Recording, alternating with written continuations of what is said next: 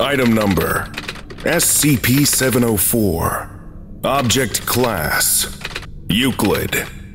Special Containment Procedures. The entrance and exit to SCP 704 are to be closed to the public as a private road. Both the entrance and exit are blocked by a solid steel barrier, built to resemble a swing arm style barrier. The swing arm is non functional, and the barrier is instead designed to withstand high speed collisions with vehicles up to the size of a semi trailer. Armed guards are to be stationed at the entrance and exit to SCP 704 at all times to further discourage attempted entry. Entry to SCP 704 is not allowed by any wheeled or treaded vehicle, though attempting to do so is, for the most part, its own punishment. Entry is only allowed on foot, with previous clearance from one Level 3 administrator. Should a vehicle gain entry to SCP 704, personnel are to wait approximately two hours before attempting to recover any bodies or the driver. This is to guarantee personnel safety, as the actions of both the driver and SCP 704 are unpredictable during an active phase. Description SCP 704 is a loop of winding road, breaking off and reconnecting to State Highway 96 in the National Forest. The loop does not appear on any conventional or electronic maps, and satellite service is made difficult by an inability to focus on the affected area. SCP 704 has a passive and an active phase. The passive stage can only be observed by those traveling by foot. During the passive stage, SCP 704 appears to be a winding, static road, littered with the remains of vehicles. Remains of vehicles are not observed during its active phase. The exact topography and distance of the route remains constant between active periods. After an active period, topography and distance change to a new configuration. Once a driver has entered SCP 704, it begins its active phase. The active phase has been observed via remote cameras mounted to vehicles entering SCP-704 as part of various experiments.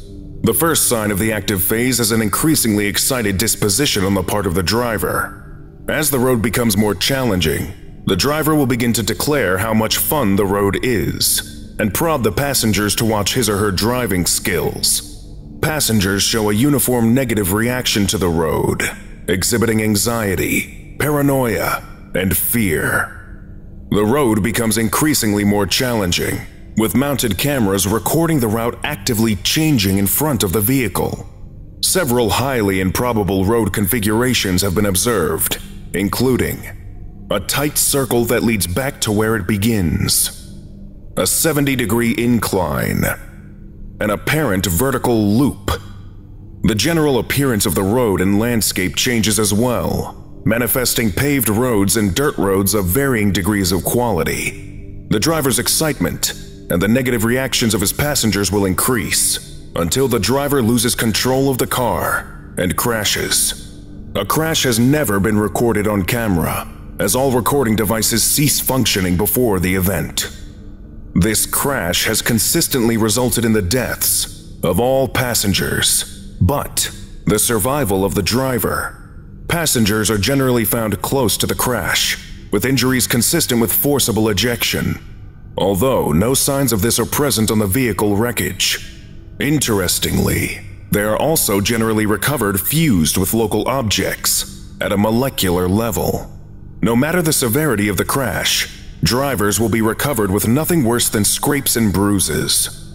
Drivers only retain partial specific memories of the time spent on SCP 704 but are always acutely aware that they have just been responsible for their passengers' deaths.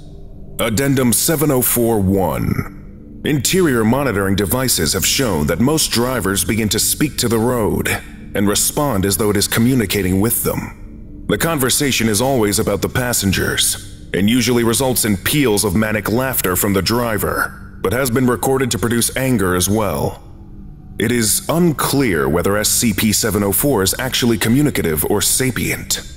Due to the personality changes during an active event, and partial retrograde amnesia after, all potential interview attempts have failed. Addendum 704-2 On 04, 09 2009 D4701, a member of the biker gang, was selected to determine the effect of SCP 704 on a single occupant vehicle. He was given a motorcycle with a remote activated kill switch and instructed to traverse SCP 704. In this case, SCP 704 changed to lead D 4701 directly through the guardhouse at the opposite end, killing the two observing researchers. Future experimentation on SCP 704 with single occupant vehicles is discouraged. Lesson complete. If you missed the previous orientation, go watch SCP 703 Into the Closet right now. Or for the complete course, watch this playlist.